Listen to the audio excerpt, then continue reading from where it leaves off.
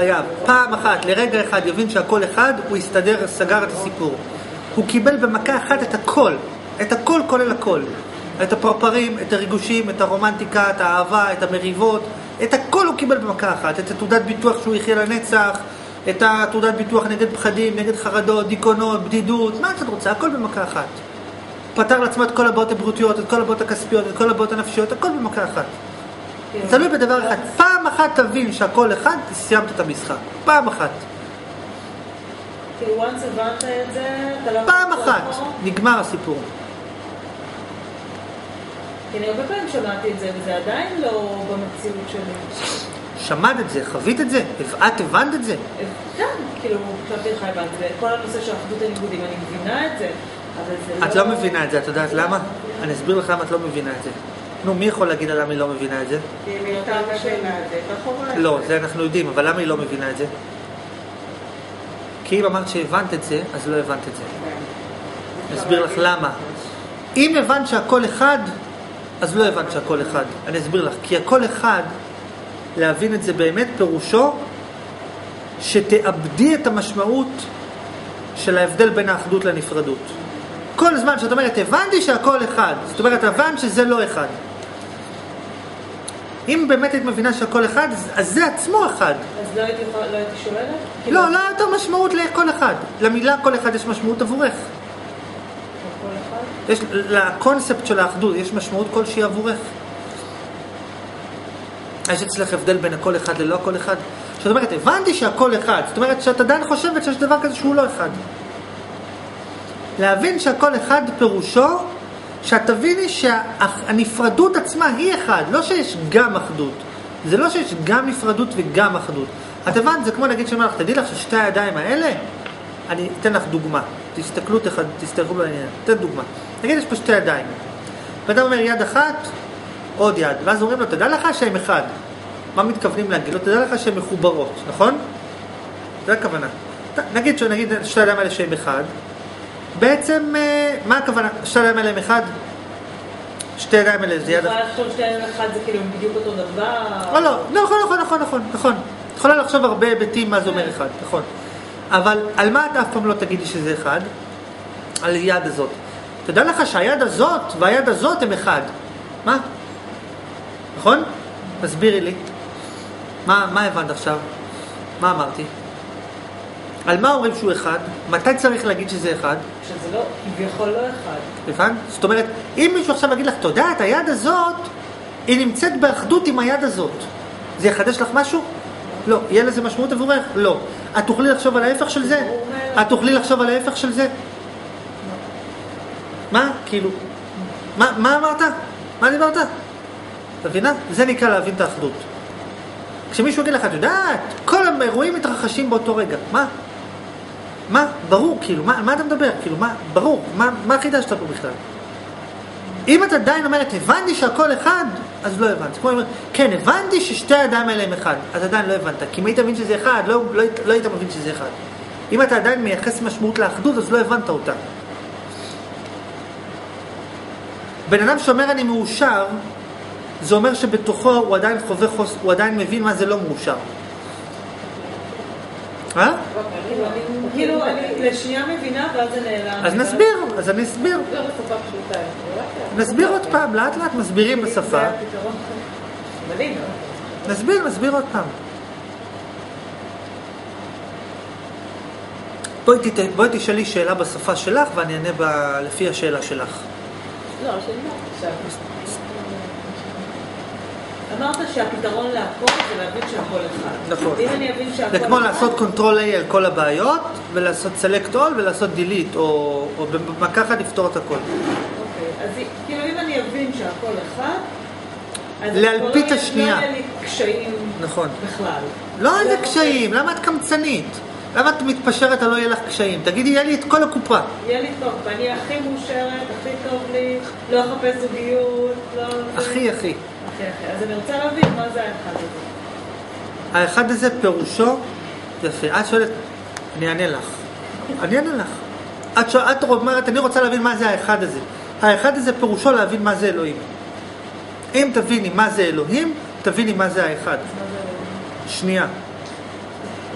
קודם כל תביני מה אנחנו מחפשים. קודם כל תביני מה אנחנו מחפשים. מה זה נקרא? כי רבי נחמן לפני שנייה אמר, מי שנכלל באלוהים, יש לו שלמות. ורבי נחמן אמר, ואיך תיכלל באחד? על ידי שתבין מה זה אחד. להבין, אם פעם אחת, את שמעת פעם על המילה אלוהים? שבי, את רוצה באמת להבין את האחדות? יפה, כנסי לחדר, תתחילי לחקור מה זה אלוהים. מה זה, מי אמר שיש, מי אמר שאין, אולי יש, אולי הוא לא רוצה, הוא, הוא חכם, הוא טיפש, הוא, הוא, מי אמר שהוא חכם, למה הוא חכם, מי גרם, אם הוא חכם, למה הוא חכם ככה, למה הוא חכם אחרת, תחקרי את כל מה שאת יכולה על אלוהים. שזה בעצם מה שאני אמרתי לך על המציאות, זה אותו דבר. כאילו, את יכולה להגיד, בוא נחקור את הכל על המציאות, בוא נחקור את הכל על אלוהים, זה אותו דבר.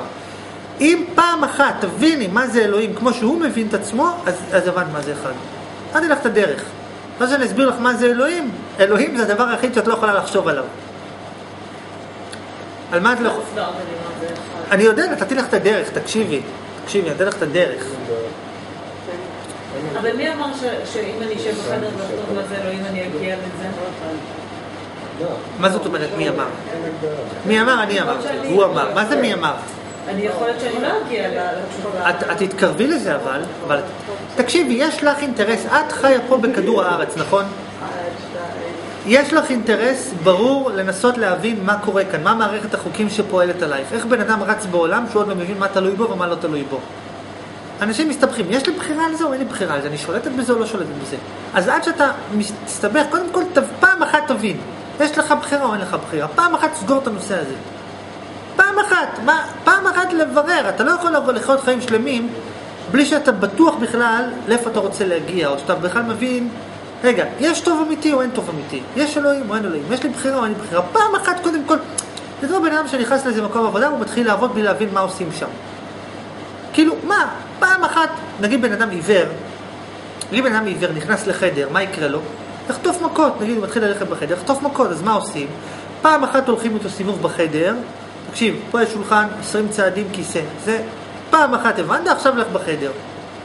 אם אתה עוד לא מבין פעם אחת, יש אלוהים או אין אלוהים, אבל באופן מוחלט, לא ב...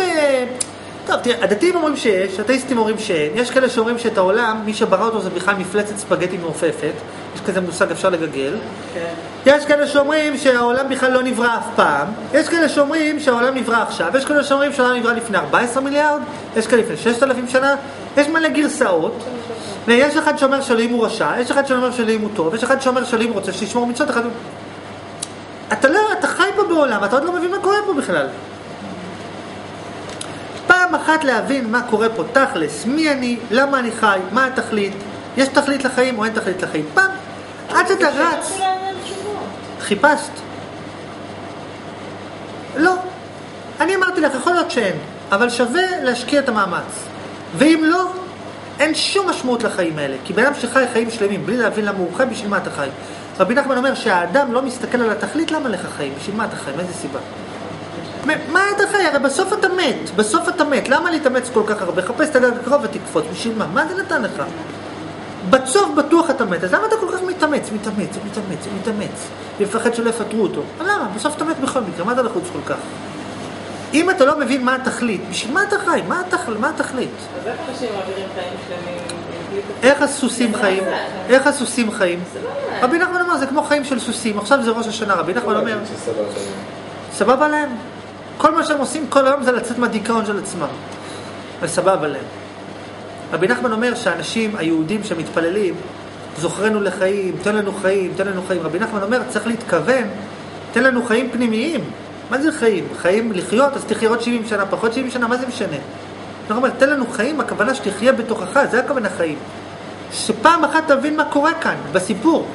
אבל אני מכירה אנשים, סתם לדוגמה, כמו ישבתי עם אה, מישהי בת אה, 50 ומשהו, אישה מאוד עמידה, מאוד טוב לה. כן. גם בעבודה שלה, גם בחיים הפרטיים, בשעות הפנאי, טוב לה. בן אדם שבאמת לא צריך הרבה, טוב לו עם עצמו, מאוד לא מאמינה באלוהים. את שמת לב שעכשיו אמרת דבר והיפוך רק, תשימי לב. מה? כי אמרת שני דברים, אמרת, טוב לה עם עצמה היא לא צריכה הרבה, ולפני כן סיפרת שיש לה הרבה. טוב לה כי היא לא צריכה הרבה, או טוב לה כי יש לה הרבה? יש לה... כי זה עניין של אופי, זה עניין של אופי. עניין של אופי, יכול להיות בן אדם שיש לו הרבה והוא לא טוב לו, ויכול להיות בן אדם שיש לו קצת והוא לא צריך הרבה. כן, אבל האישה הזאת אני גם לא רואה במקום אחר. לא, אבל הבנת את זה הנקודה, הפואנטה. פה שטוב לה, לא בגלל מה שיש לה. בגלל שטוב לה עם מה שיש לה, בגלל שהיא באחדות. כן. אבל היא לא מאמינה באלוהים. אני אמרתי שלהאמין באלוהים, בשלב כלשהו שמעתי אותי אומר תאמיני באלוהים. אני אומר לך, אל תאמיני באלוהים.